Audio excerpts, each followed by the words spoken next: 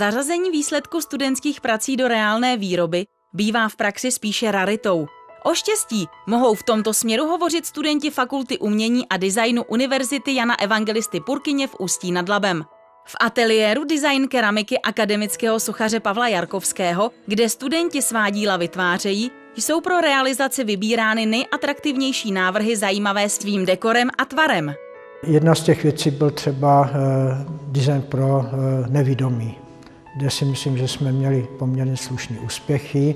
Řada věcí se povedla realizovat a jedna z těch věcí ve spolupráci zase s ateliérem v Bratislavě je porcelánová konvička s takovým dřevěným držadlem, která je dneska ve výrobě v českém porcelánu.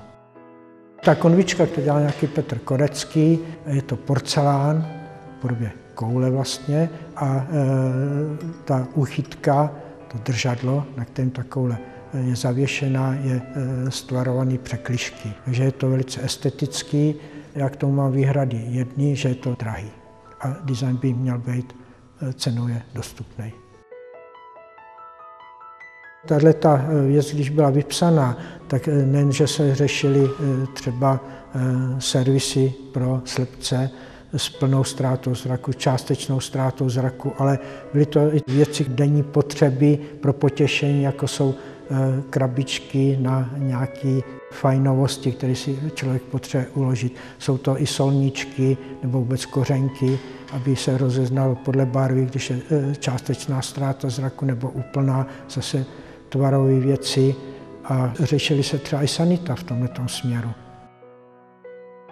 Tam můžete vidět dokonce i brýle, to dělal nějaký Yukawa Sumi, kde jsou brýle jako šperk pojatý a měl to úspěch i na přehlídce keramiky, když bylo 300 let porcelánu v Německu. V Zelbu byla veliká výstava nejlepších ateliérů a my jsme se tam velice uplatnili.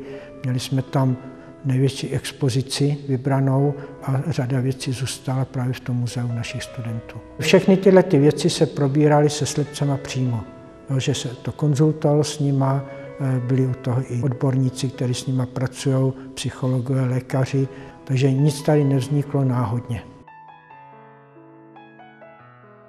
V tomto ateliéru se vlastně pracuje s keramikou, nejen s porcelánem a eh, řeší se tady problémy od hrníčku až po architektonický produkt. Tady se e, řeší třeba i dlažba, obklady se tady řeší, e, můžete se setkat třeba s našimi obkladama v Chomutově na nádraží, je to jedna z věcí, která dostala cenu za design. Tady skutečně existuje přímá spolupráce s průmyslem. A je to jednak daný tím, že Eh, pan inženýr Fajks, eh, ředitel eh, porcelánky, český porcelán, mě umožnil, abych se mohl do Duby přestěhovat se svými studenty, zrekonstruoval nám tady bývalou porcelánku.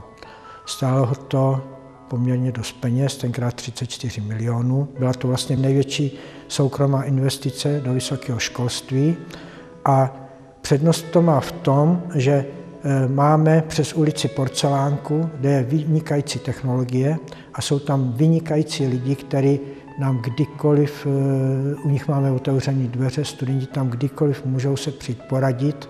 Eh, mají otevřené dveře i ke generálnímu ředitelovi, který je vlastně vynikající technolog, ekonom a má o studenty obrovský zájem.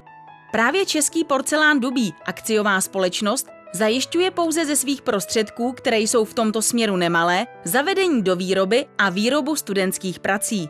Proto je na místě otázka, jaké jsou důvody českého porcelánu Dubí takto studenty podporovat?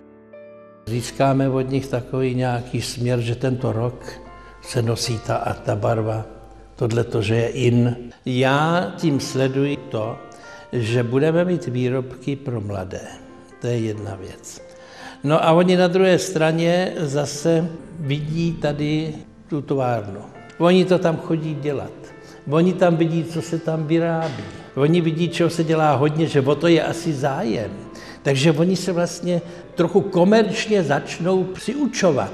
A teďka je to dilema u nich. Oni by rádi dělali nějaké extravagance, ale ty můžou dělat ale pro výstavu. Ale když chtějí uspět v průmyslovém podniku, tak musí kus toho svýho snažení přenechat těm potřebám. Já vám řeknu příklad. Když jsme byli s prvními studentskými věcmi ve Frankfurtu na výstavě, kde se každý rok zúčastňujeme, tak přišel jeden zákazník z Německa a říkal, Ježíš, to je krásný, to je nápad, to je dobrý, to se mi líbí. No jo, já myslel, že řekne, kolik toho objedná, on povídal, to víte, ale prodávat bych to nemohl. Vždycky se snažíme, aby to eh, mělo praktické upotřebení, protože orientujeme se k designu a design by měl být pro lidi. To znamená, že musí být funkční, musí být cenově dostupný a měl by být navíc ještě esteticky pěkně provedený, aby ty lidi měli zájem si to vůbec koupit. Když jsem končila střední, tak jsem se vlastně, chtěla jsem pokračovat v oboru, to znamená v kerabince nebo v porcelánu a rozhodovala jsem se mezi Pražskou umprumkou a vlastně touhle školou a rozhodl vedoucí ateliéru, protože o těchto oborů je důležité, jako u koho studujete a mě byl prostě jako blí, blížší pan Jarkovský než Maxim Velčovský. Když to srovnám s tím, co se děje teďka na ostatních vysokých školách s tímhle oborem, tak se mi to vůbec nelíbí, protože se to vede spíš do volného umění a pan Jarkovský nás vede k tomu, aby ty věci byly dobře technicky zvládnuty, aby byly použitelné jako do sériové výroby. A to si myslím, že pro nás má budoucnost jako pro studenty.